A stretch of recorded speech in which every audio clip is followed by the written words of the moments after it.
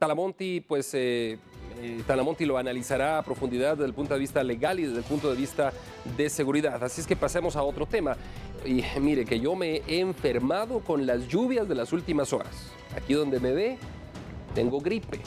En las últimas horas, las fuertes lluvias que se han presentado en el país han provocado no solamente lo que me pasó a mí, gripe y problemas con las vías respiratorias, principalmente a los niños y a los ancianos, sino también que han provocado serios daños e inundaciones, como las que usted ve en pantalla. Tal fue el caso de las horas 3, 4, 5 y 9 de la capital, donde las calles y avenidas principales colapsaron.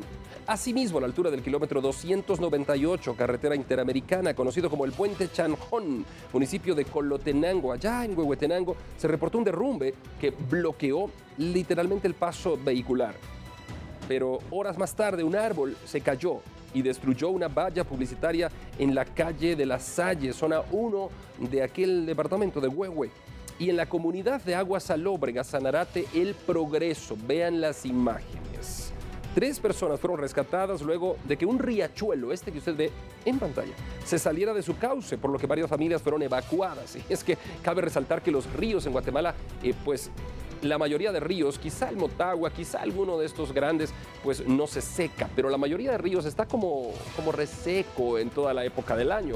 Pero cuando vienen las lluvias y llega esta época del invierno, principalmente mayo, junio, y luego nos vamos a septiembre y octubre, que son meses muy complicados en lluvia por tradición, se lo estoy diciendo no porque sea experto en meteorología, sino por tradición, esos meses son los complicados. Eh, los ríos suelen llenarse y cuando se llenan se desbordan y al desbordarse causan estragos. Y los estragos llevan a personas incluso a ser albergadas. Miren, mire lo que pasa en algunas calles de la ciudad de Guatemala.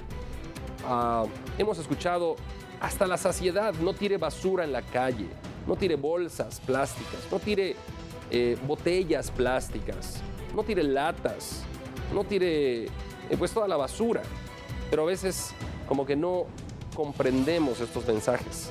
La basura se acumula cuando la lluvia empieza a caer las correntadas de agua empiezan a llevar la basura a los tragantes, los tapan y hacen colapsar todo esto. Eh, esto es Guatemala. Vean ustedes los, automóviles, en este caso automóviles echados a perder, porque cuando un, eh, un automóvil se le moja el motor, pues se echa a perder.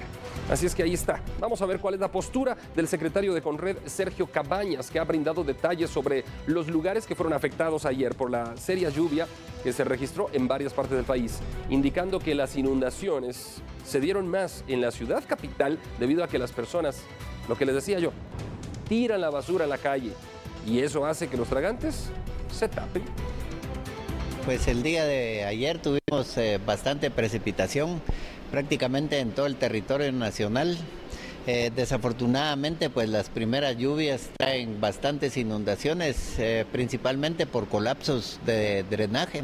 Esto es porque la gente pues tira la basura en las calles o las deja depositadas en esquinas o en botaderos no autorizados. definitivamente fue una lluvia bastante copiosa y esto pues se hizo en varios departamentos eh, inundaciones eh, repentinas sin previo aviso. Eh, la zona más afectada fue la ciudad capital. prácticamente no hubo ningún daño en ninguna infraestructura, pero sí en la red vial. Y lo que sí tuvimos daño fue en Sanarate, Progreso, donde aproximadamente 60 viviendas fueron afectadas y tenemos dos viviendas con daño severo. Estas personas eh, ya fueron atendidas, no hubo necesidad de alojarlas en ningún albergue, sino que fueron a pasar la noche eh, con familiares y amigos. Eh, ya las autoridades desde el día de ayer pues se les proporcionó el recurso necesario y la municipalidad el día de hoy pues va a estar haciendo conjuntamente con ellos trabajos de limpieza.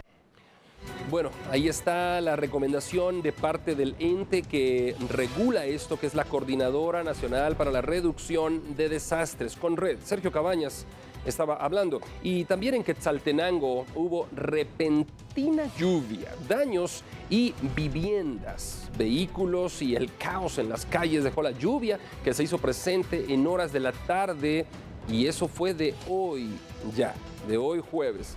Vea lo que pasó en Shela. Varias arterias de la cabecera departamental de Quetzaltenango quedaron convertidas en lagunas, luego que las lluvias que se presentaron desde el mediodía provocaran inundaciones en calles y avenidas. Uno de los lugares más afectados fue la zona 3, ya que además de acumulación de agua se reportó la caída de árboles y daños a vehículos y comercios. Asimismo, el tránsito se vio complicado en varias zonas de la ciudad altense, ya que algunos semáforos dejaron de funcionar debido al corte de energía eléctrica.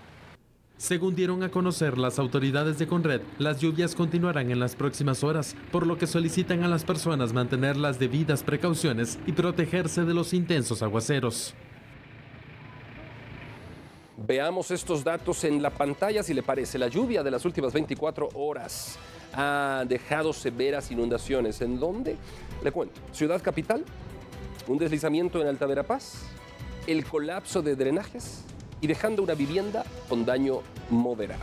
24 familias que residen en las comunidades de Las Palmas, Siquinalá, Escuintla, evacuadas eh, por el riesgo de los lajares. La evacuación de 60 viviendas afectadas en Sanarate el Progreso. Además, en San Marcos y Petén se registran incidentes. Ahí está entonces. Y además está decirlo lo que ha pasado también, la gripe, los problemas respiratorios, problemas bronquiales. Cuando venga este tipo de lluvia repentina, no deje que sus chicos salgan a jugar a la calle eh, eh, para mojarse los piecitos, porque después se mojan los zapatos, se mojan el pantalón, llegan hacia la casa, no se bañan, así se acuestan, y esto provoca que al día siguiente amanezcan con un resfriado eh, difícil ya de tratar. También se vienen las enfermedades, recordemos, con la época de lluvia. ¿Recordaba usted a las abuelitas hablar del mal de mayo? Yo me recuerdo de eso, que las abuelitas hablaban de eso. Pues se viene con las lluvias problemas estomacales también. Así es que hay que tomar consideración y precaución, no solo por los derrumbes y deslaves e inundaciones, sino por los problemas de salud.